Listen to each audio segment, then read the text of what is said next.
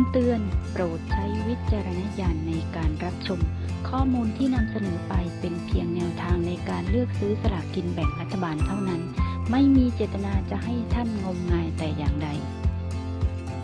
พระแบบนี้ก็มีด้วยเหรอ เรื่องแปลกแต่จริงนะคะ มีผู้โพสเฟซบุ๊กรายหนึ่งนะคะ ใช้ชื่อว่าจิรินชาชา เขียนข้อความผ่านเฟซบุ๊กส่วนตัวนะคะเเขียนว่าต้นกล้วยที่บ้านค่ะ ออกปลีออกลูกกลางต้นตีเป็นเลขอะไรดีคะบ้านเลขที่ 63หมู่13 ค่ะ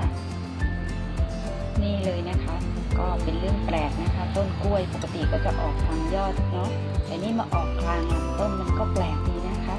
ก็ใกล้วันหวยออกก็จะเป็นธรรมดานะคะข่าวแปลกๆข่าว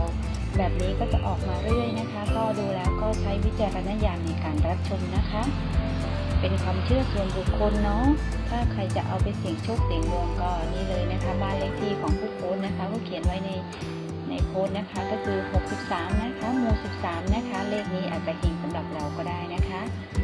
ถ้าชื่นชอบก็กดติดตามกด subscribe กดกระดิ่งแจ้งเตือนด้วยนะคะ เวลาเราลงคลิปจะได้ดูทันทีเลยสำหรับวันนี้ก็ขอให้ทุกท่านโชคดีนะคะ สวัสดีค่ะ